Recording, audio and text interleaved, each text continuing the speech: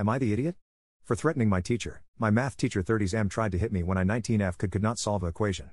He is a tall man 6 feet 5 inches with large build too and I am a skinny teen girl, his one hit would likely have left me with bruises or inflammation. I stopped his hand and told that he cannot hit me and if he do I will report him and call cops. There are two CCTV cameras working in my college class. He used to hit guys in our class but they never said anything. He said it's teacher's duty to teach discipline and I am using being female to my advantage and threatening him when he did not hit yet, to which I clarified I am not just threatening I will do it if he even tries again. It kind of struck me badly because my own dad never tried to hit me seriously. I don't think I was over the top because I feel it is something to be over the top about.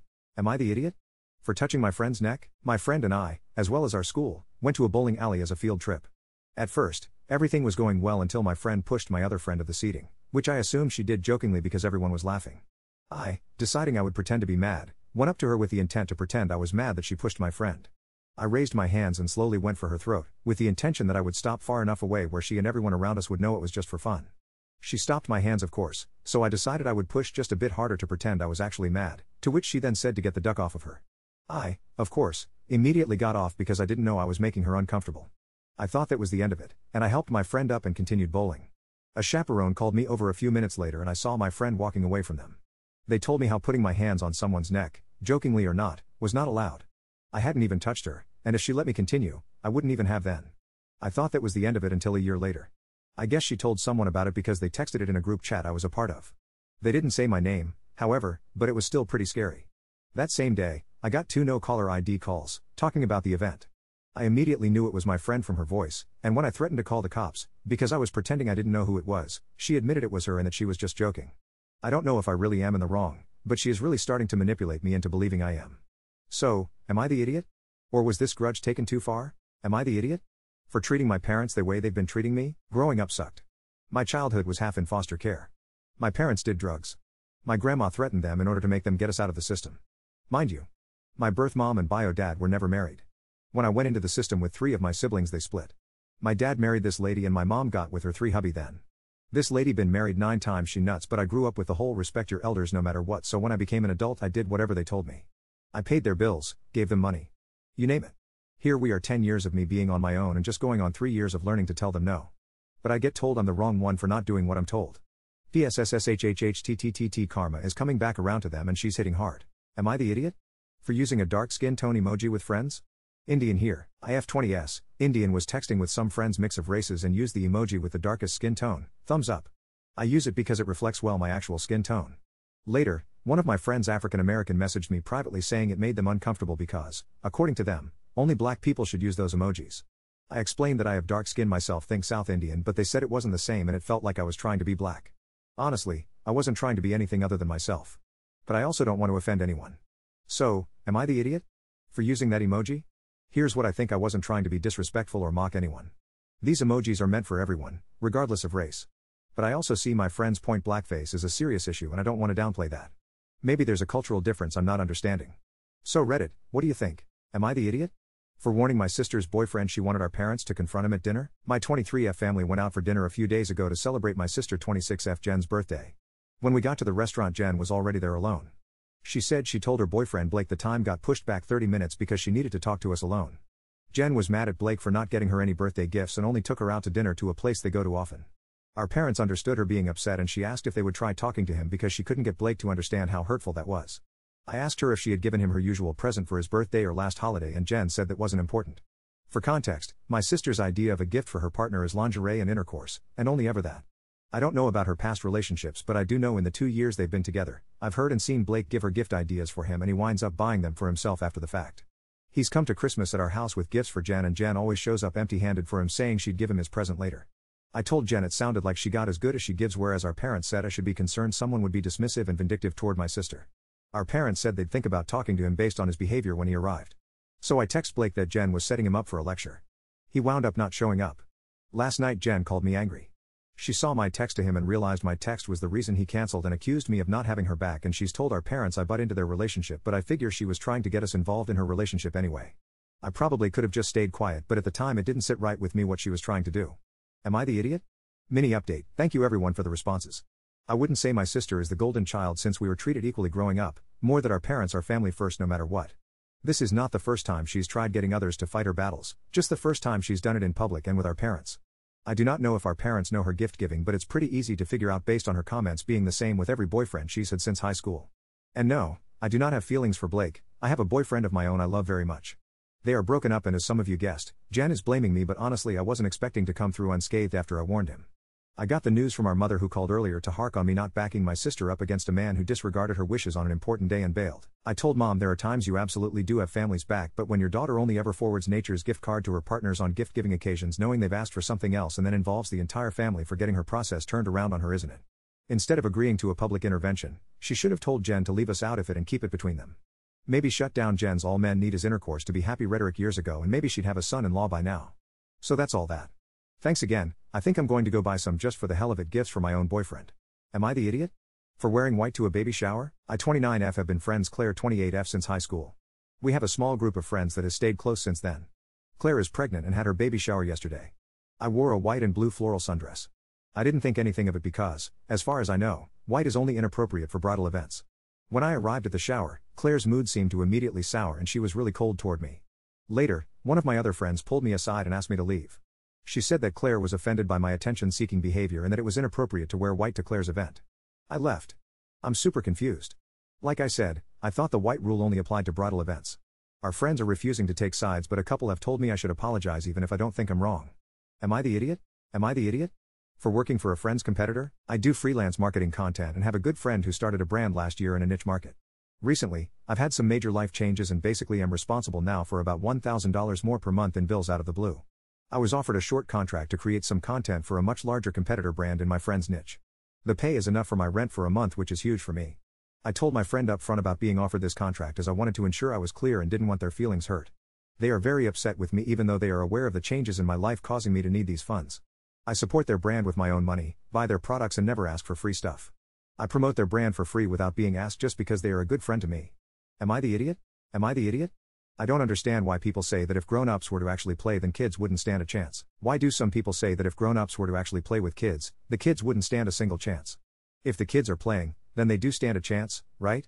What is challenging for your child in a rock climbing race on the playground with you if they know that you are going to let them win, and that you are not even going to try to climb or you are going to pretend and climb incredibly slow? Where is the challenge when playing monkey in the middle with your parents if you know that they are just going to give you the ball, if them as the thrower, are just going to deliberately drops fumble the ball, or that when they are the monkey, they are just going to pretend to try and get the ball but then act like they weren't able to, and just let you win? What is challenging or fun in wrestling if the opponent in wrestling is just going to let them win and not even try, or just pretend during the whole thing? I mean, if two parents or you and a friend were to play a game they would actually play, but then as soon as a kid is playing with them they deliberately let them win with seemingly no effort, they do not even let the child earn a win, or even let them show the adult what skill they have. The child could be in preschool, kindergarten, or they could even be a first, second, or third grader. The child could even be a next door neighbor who you have just met regardless. The adult assumes that the child has no skill and therefore cannot play with them. For that child who was playing, where was the challenge? What exactly would happen if the adults were to actually play an example that I gave instead of just pretending and quite literally just giving the kid the win even though the kid is putting no effort into it? What would happen if the parents actually played monkey in the middle, actually played with their child on the Kitty Rockwall race, actually played during the relay race, etc.? Am I the idiot? I hate when my brother uses my Xbox. I am 17, I have a PS5 and Xbox Series S. I really don't mind with my siblings borrowing my consoles just as long as they bring back to my room after. With my brother though he acts like it's his Xbox. Whenever he would borrow my PS5 he would bring it back right after he's finished playing. But when it's the Xbox that he wants to play with it, he wouldn't bring it back until I say I'ma play it. Then when I finally play the Xbox. The next 5 hours he asks if he can play it again not even giving me time. I shouldn't even be asking him that I want to play my Xbox most of the time he wouldn't even play it, he just asks for it just for it to stay in his room. This gets me mad because I'm all waiting for weeks feeling bad thinking as long as he can play but no he doesn't even play it. Just today I asked for it back to play it, I barely got on because I was tired. Four hours goes by and he asks for it again. Then while he's getting the Xbox he tells me are you going to get the new Dead Rising on your PS5? He already bought it on the Xbox already. He's most likely saying this is so he can just hog the Xbox even more. He forces me saying I should I buy Dead Rising and just play online games with my friends on the PS5 when I play with them on the Xbox. I'll tell him I don't have PS Plus but he offers to pay for it, but that's not the point. The point is my Xbox has all the good games for online and I don't want to rebuy them on my PS5. I really don't know what to do from this point forward. Any ideas what I should I do? Should I get over it? Am I the idiot? If I don't want to in contact with my dad or half sisters after 12 years? Backstory My mom always told me I was an accident by a blessing because at the time she needed me. My grandma passed months before this occurred and my mom was at a young age. At the time she trusted my dad and during dating she ended up pregnant. How she got pregnant you may ask. This sneaky MF poked a hole in the condom. How did my mom find out? Because he told a friend that he was going to get my mom pregnant. Of course, she broke it off with him but said he could see me. Want to know the reason why he never really saw me? Since they couldn't be together, he didn't want me lol. Fast forward to when I first met him. I was 7 years old. My mom tried to give it a try, don't know the backstory, but he saw me about three times total. One time against my mom's will he picked me up from school. I remembered he took me to a store and left the door open and told a person in another car he knew to watch me. You can imagine how me and my mom felt after he left again. Turns out he was just trying to get back with my mom. Fast forward 12 years, currently 19, my half sister asked me if I was his child. I replied yes, and then she put me in a group chat with two other people. Turns out he abandoned four girls in total. He was in contact with one and she was the youngest. Turns out he moved and is playing stepdad with another woman. Which I knew because when I got into my teens I googled his Facebook.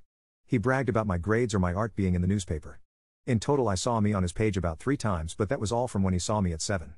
At the time it had hurt and I cried but realized I got a stepdad that was with me for way longer. I always knew I had other siblings due to the Facebook, and when they added me in the group chat, I just felt no connection. I'm the oldest of the females, but I just didn't want to continue talking to them. To be fair, I don't really like talking to anyone unless they my close family brother, sister, mom in the group chat the youngest one was saying that he is in the hospital and that I should reach out. I declined because I don't have no love or liking to him anymore. Afterwards I stopped responding but in reality I felt like I had no connection to my sisters and they had their own so why would they need me? Plus when I was discussing this with my mom my little sister in her early teens seemed sad so my mom had to act like it's a joke. I built such a connection with my sister and we've seen and been through so much. I just feel like my energy should go on her. I love the bond I have with her and I'm not looking to replace her. I don't even have a best friend because I consider my sister my best friend and frankly I don't have an ounce of love for the other three sisters. Does that make me an asshole? Am I the idiot? My friend stole my crush and rats me out to my dad. Amir is my only friend, he's very good with people and sort of the opposite of me really, he's a big extrovert. He's always helped me especially in situations where I've struggled to speak up or stand up for myself. We've been friends since we were little and his friendship means a lot to me. But in the last year or so I've been feeling like he's betraying me. Amir gets along with people easily, and he and my dad are very good friends too. Problem is my dad has very strict ideologies and Amir has taken to agreeing with him, and has started acting like my dad's arm of the law. My dad is strict about women, and worries they are a deadly distraction from my studies. He says no girls, no girlfriends, no wasting time ogling girls.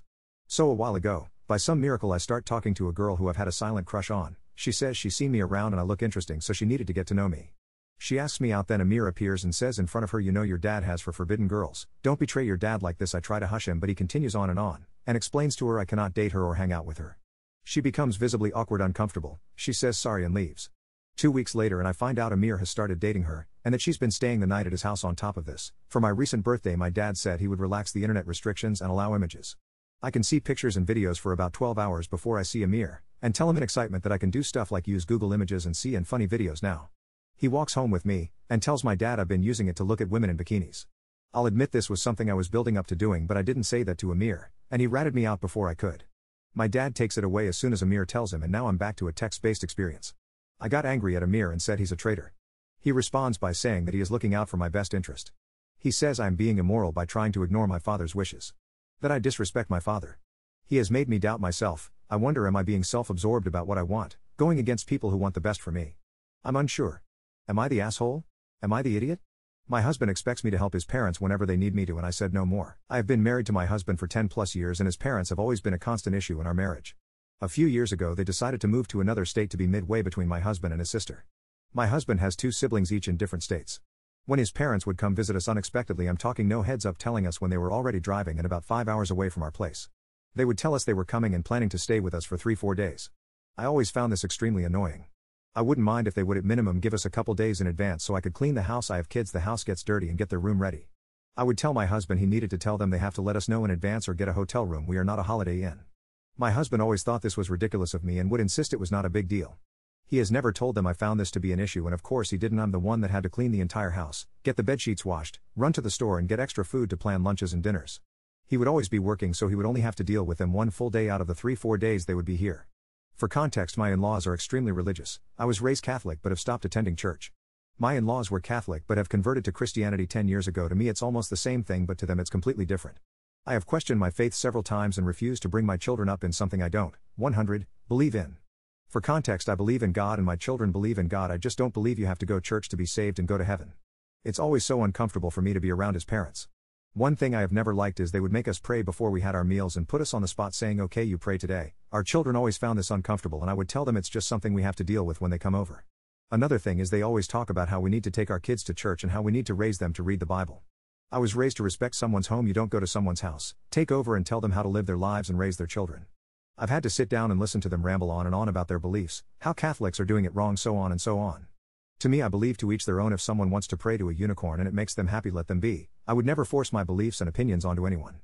BTW, I'm not saying God is a unicorn, I'm just simply saying you do you boo. Who am I to judge? They have always asked me for help filling out paperwork, online paperwork, updating their phones, anything tech related, you name it, I have had to help since day one of us getting married. They sold their home and decided to move closer to us. I'm talking less than an hour drive. Here is where I have had enough. Now they have been calling me once a week for help, and I have finally put my foot down and told my husband no more. I told him they are his parents, he needs to deal with them and to stop throwing them at me to help them. He says he's busy with work and doesn't have the time. He does have a stressful job. I have my own job too, while I'm also the one taking care of our children and all of the housework. We have been arguing more and more to the point of me telling him either you tell them enough is enough, they need to figure shit out on their own, or I'm going to, but it will not be in the nicest way. His parents are in their early 60s, they are not dinosaurs, they can figure things out on their own. I finally started to put up boundaries. His mom sent me a text and asked me if I was available that afternoon to help them pay a bill online. I of course said yes, I would help them. However, I told her I am available next day and his mom called me saying I know you're busy but can't you help us right now? I told her again, sorry, this is the day I am available, but I did send her instructions how to pay it herself online. Now, three days later, they asked me to print out paperwork for them and if I was available. I was not and told them I would be available the following day. Well, they called my husband while he was at work telling him it was something quick, they needed the paperwork printed ASAP. Well, needless to say, my husband got mad at me when he got home, saying, Well, why couldn't you help them? And how it was an inconvenience of him to help them while he was at work and how I had a few minutes to help them out. Like, seriously? I told him enough is enough, I can help, but I'm not a ducking personal assistant. He has told me he will divorce me if I make him choose between his parents or me. I'm not making him choose. What I am saying is they are not my problem. I am not responsible for them. It's his and his siblings' responsibility to help them. Am I the a hole? Am I the idiot? My stepdog there's mother wants me to put her child first above my own and to push my kids away when we have her. For context, I 30F have two children, one from a previous marriage and one with my current partner. My partner has one child from a hookup situation, which is my stepdaughter. Currently, there is no custody agreement between them, and we have my stepdaughter every second weekend and half of holidays. This weekend, her mother asked if we wanted her, and we had said no due to commitments we have in place. And my stepdaughter's behavior is totally out of line right now and has been for four years now due to her mother uprooting her life multiple times in the past four years, along with allowing dangerous people around her and drugs. We unfortunately are going somewhere that my stepdaughter isn't allowed to go due to her extreme behavior and total disrespect for anyone around her. And when I explained that to her mother, she absolutely flipped her crap at me and accused me of pushing her away, which I have never done, also stating that I don't put her daughter first like I should. Well, fully knowing I have my own children to take care of as well. My stepdaughter has become a major safety issue with the other children in our home. I absolutely love my stepdaughter, but I can't keep putting my children in a situation that's dangerous. Also, she is incredibly destructive. She breaks everything she can. When she doesn't get her own way, she throws major fits just to get back to her mother, hurts my youngest child just to get attention. And when we bring this all up to her mother, she blames us for her behavior and tries to state her daughter would never do that. So, am I the idiot? For telling her mother until she can get her behavior under control and understand I'm not going to put her daughter first above any other child like she wants me that she can't be slandering us and threatening us. Also, we would be having her the first week of these holidays, which starts on Monday, so technically we wouldn't get her till Monday. Am I the idiot? Removed my child from a school and other parents followed. Ta account. English not main lang. I have two kids in public schools, those are the best in my country. The oldest, Jane, is seven. This school year, a kid joined the class and the parents were all called in. They said it a special ed child, which no one minded. This is an inclusive school and the kids already have a diverse class, including special ed kids, children in the spectrum, among others. It has been like this since pre K. However, one month after school started, Jane was sleeping worse, she would jump with every noise, hated going to school. I tried to understand what was going on, and I was shocked. The teacher confirmed and looked like she was at a breaking point herself. The child, let's call her Lainey, is a teenager. She has constant meltdowns, screams, and hits everyone. Her mother refuses for her to wear a diaper, and she just says Lacey poop or Lacey pee immediately does odd in front of everyone. She has a helper with her at all times, but when this happens, the teacher also leaves to room to help change her. I have no idea why this child is not in a more suitable environment. I took Jane to the doctor, and he said she should be removed from this environment as she was getting traumatized. I asked for my child to change classes, and after a while, the school obliged. But then also did the other parents. It was a mess. I ended removing my Jane and placing her in a private school, two others' friends also did that. Last week I went to school to learn what the plans for Lacey were, and since she will be moving along with the other kids to next year class, I will not re enroll Jane and warn that I would be removing my youngest and place both in a close by public school for this school year. A lot of parents did that, which will likely lead to the eight year class next year to have just a handful of students in Lacey. The parents of the children who stayed for next year are pissed because Lacey is getting bigger and hard to handle, and they fear she could hurt the kids. They are gathering signatures to create a special ed focus class. That is not how it works in that school. By doing that, they will just remove all children with a personalized education program from the class where they are succeeding. I didn't sign. This is causing a bad environment with several parents in the neighborhood. Yesterday, I was at the grocery and the mother of a boy wore autism inserted in a regular class was speaking to me about this, that she might remove him as well if this special class for special kids goes forward. Other parents heard what we were talking about and everyone is arguing. One of them said up my fault things were so bad, because I should have tried other solution before removing my child from that school. I feel bad for Lacey, it is not her fault. But she needs a specific assistance program. I should also add her mother refuses anything that is not integration on a regular class and being a public school their hands are tied. Am I the idiot? Lacey is 15 BTW.